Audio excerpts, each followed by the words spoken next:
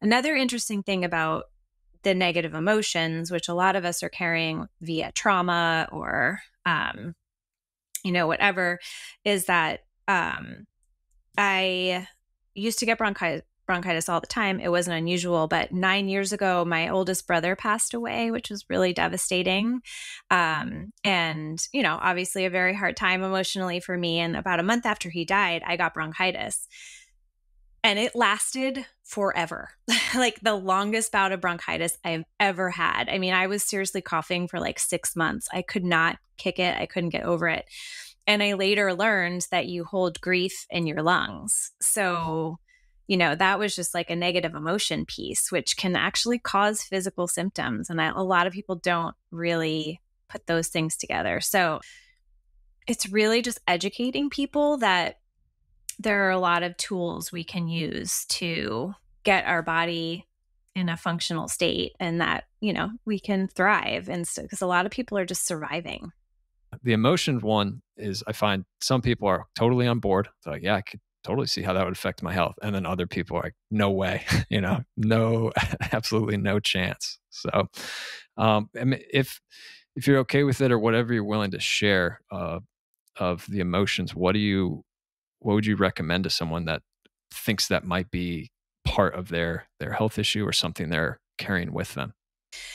Yeah. Um, lots of things. I actually just had a client call this morning um, with someone who was she was very teary eyed and weepy when we chatted because she has a lot going on emotionally. So, um, I did a little bit of emotion code work with her. So, um, if you guys aren't familiar with that, it's basically just a way of releasing negative emotions in the body. So, um, you know, you can have a, there's a, actually, I have my book right here. So, there's a book written by Bradley Nelson so anyone could read this book and, you know, learn how to do this. But, um, so, you know, finding a practitioner, things like mind, body, spirit release is another way of having a practitioner help you release negative emotions.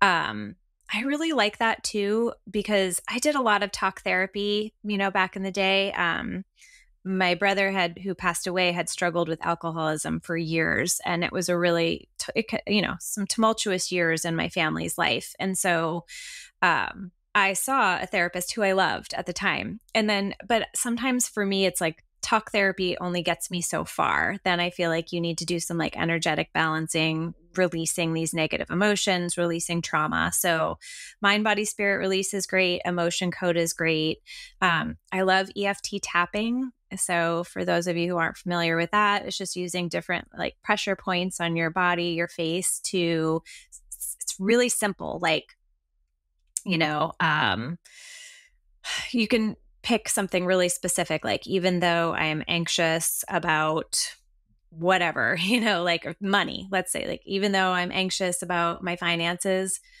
you know, money is abundant, it's all going to be okay. So it's basically, or like, even though I'm stressed about my symptoms, like, even though I'm struggling with chronic headaches, like, I'm going to figure it out, it's going to be okay. So it's sort of just like a bringing those negative emotions to the surface and then letting them go via and pressure tapping points. pressure okay pressure and points on like, the face. Yeah you're tapping while you're doing it. There's tons of youtube videos on it. It's like a really um, that one helps me quite a bit because i've i'm definitely like a like spiral, you know, and worrying about the future and um you know, just kind of keeps you in the present and and helps you bring sometimes it feels counterintuitive to like, you know, that whole like saying the only way out is through. Like you have to feel the emotions in order to let them go. So, and a lot of people just push them down. and that's what can cause a lot of physical symptoms in the body i think so there's lots of you know meditation you know prayer if that resonates with people um i personally love, love meditation um just you know i love doing yoga grounding getting outside and putting my feet on the earth. So all of these things that can help like regulate your nervous system and just you know bring those emotions to the forefront let them let them go. Journaling i've never been one who's big on journaling, but I like to give people, you know, and I in my practice I have a business partner, Jill Zavada, and we um we do we share a lot of tools with our clients about regulating their nervous system and and doing some emotional and mindset work because if you don't do that if you don't have that in place then it's almost like you're you can take all the supplements in the world and it doesn't matter you know what i mean? Like you it has to be a whole like a whole body solution like mind body spirit all of it has to come together to really help people heal yeah, yeah.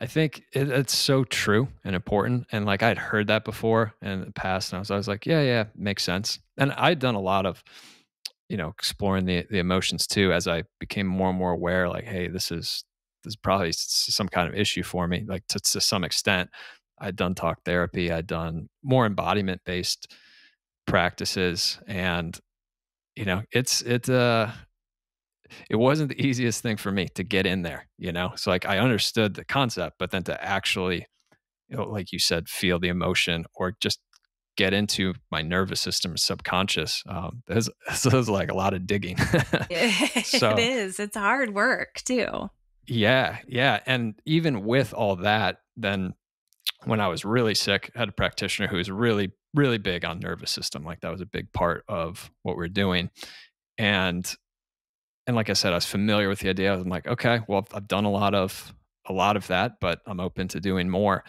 And I ended up doing some neurofeedback and went back home, and my reading speed just doubled.